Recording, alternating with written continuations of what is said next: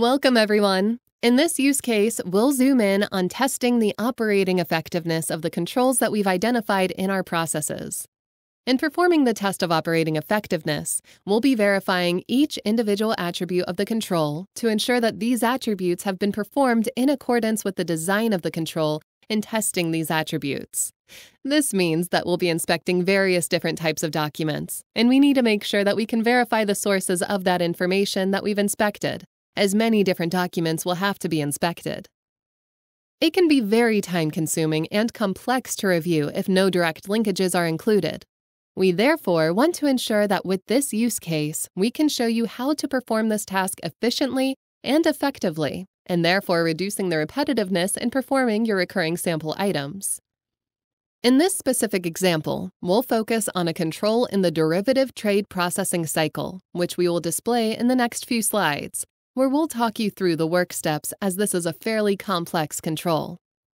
We have multiple work steps, the first one being the selection of our derivative contracts to test.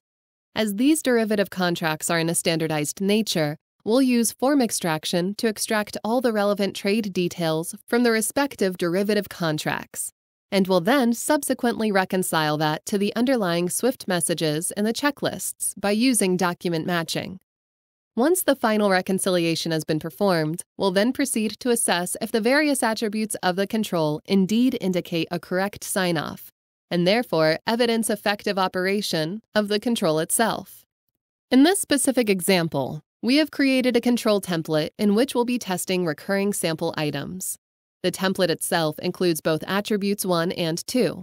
And on the right-hand side in the document viewer, we already see our documentation included as defined in the work steps. We have various derivative contracts, all of which have the same layouts.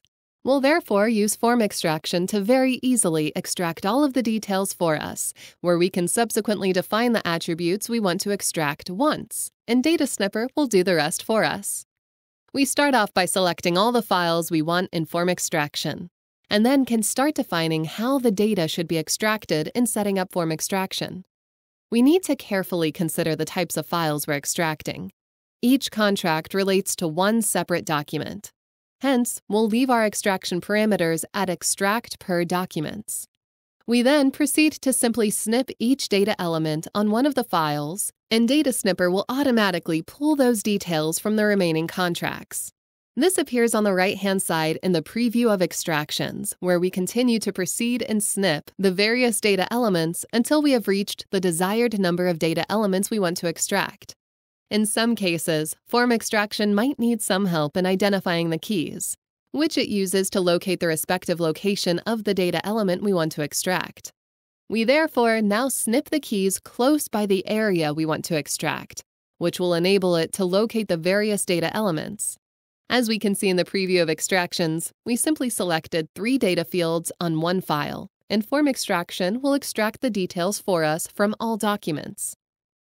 This specific setup can be saved for future references, and that's why we'll be naming the individual data elements that we're extracting to make sure that it's clearly defined what is extracted when using this template. These data element names are not only included as headers of the preview of extractions, but will also be visible when we save this as a template. By clicking on Save as Template, we can determine the name of the template and provide a narrative if preferred, which will also be visible in our My Template menu within Form Extraction. We then click on Export to Excel to create the snips for us, where we've now created direct linkages to the underlying files, which will enable us to also then subsequently copy them over to our Control CO1 tab, where we'll further use the snips within our testing. As we now have the source information included of each individual contract, we can start looking into the various aspects where we want to reconcile it to.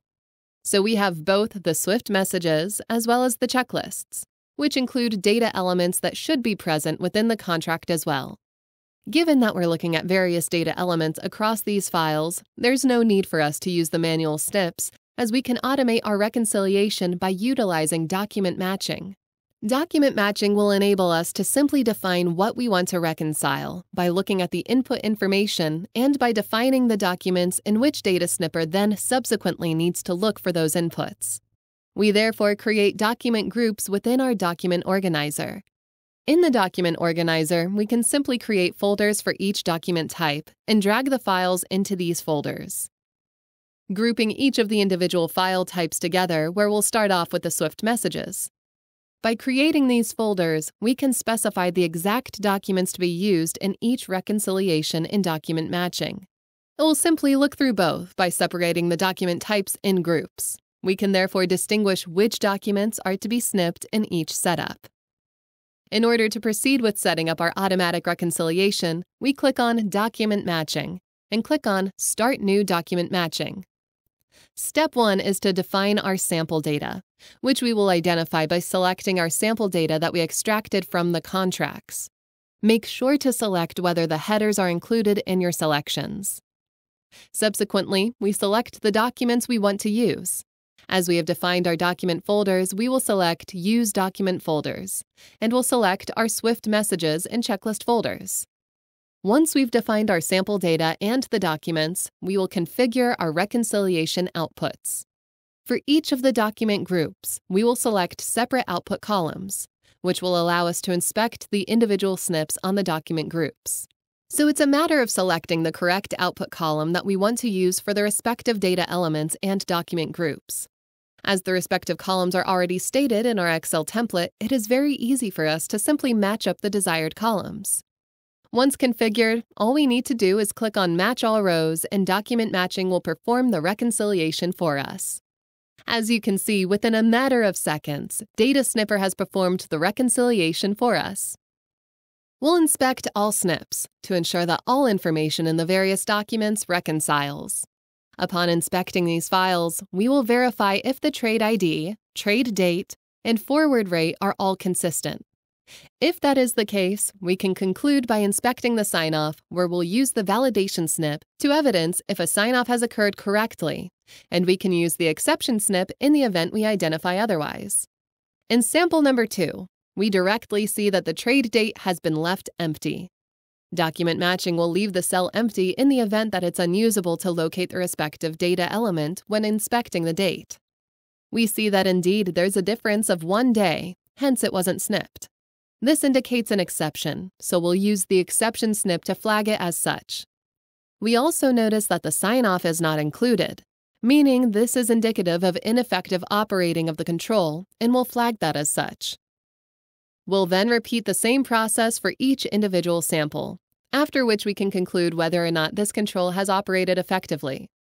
In performing our testing of operating effectiveness of controls with DataSnipper, we can very easily inspect all the files we need and link the inspected documents and data elements directly into Excel, ensuring that our reviewers can simply click through the individual samples efficiently and quickly, therefore making control testing fun and more efficient. Thank you for watching this video. Happy snipping!